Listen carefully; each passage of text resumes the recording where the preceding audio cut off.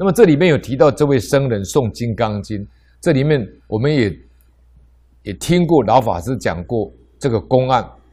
就是明朝戚继光啊诵经超度他的这个士兵亡魂的故事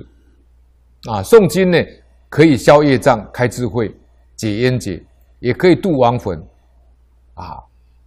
让这个不得善终的众生呢，可以投生到较好的境界，啊，那么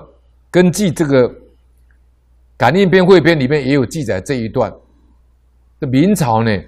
平定倭寇最出名的将领的戚继光，他每天呢都会读诵《金刚经》。有一天呢，他就梦到有一个鬼魂呢，请戚继光帮他诵《金刚经》，求超度。其实这个鬼魂呢，就是他的部下已经阵亡了，请戚继光呢诵《金刚经》超度他。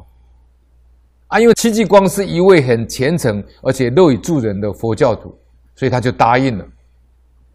可是当戚戚继光正在诵《金刚经》的时候，诵到一半的时候呢，刚好一位仆人呢，奴仆呢送茶过来，那戚继光就摇手表示不用。当时换句话说呢，他没有说话，但是他摇手表示不用，已经动念头了，那心就不专注了。他说不用，没有想到当天晚上呢，那位士兵那个亡魂呢，就过来就就告诉戚继光说呢，你今天送的经很好，可是你你送的时候呢，有多一个不用两个字，所以效力呢就没有圆满。明天请你再送一部，帮我超度好吗？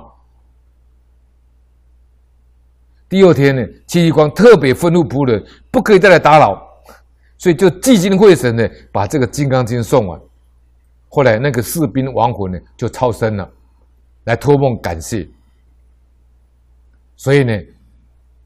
我们遇到有亲友病故，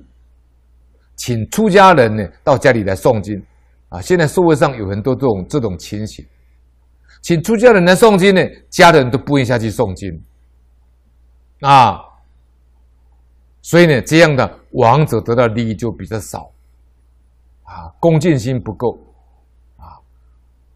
所以呢，或者是说你在跟出家人在诵经的时候呢，在那里发呆或是胡思乱想，不看经本，啊，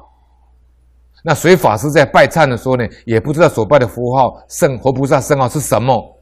这样超度亡魂的力量就非常的薄弱，啊。所以这个悲心呐、恭敬心跟念力呢，要恳切啊。所以如果家属啊家中有有有亲属呢，啊，这个往生呢，在四九天之内，不断为亡者诵经呢，尤其像地藏经啊、金刚经、弥陀经，就是要这样的恭敬啊。那么这个功德力呢，就非常的大。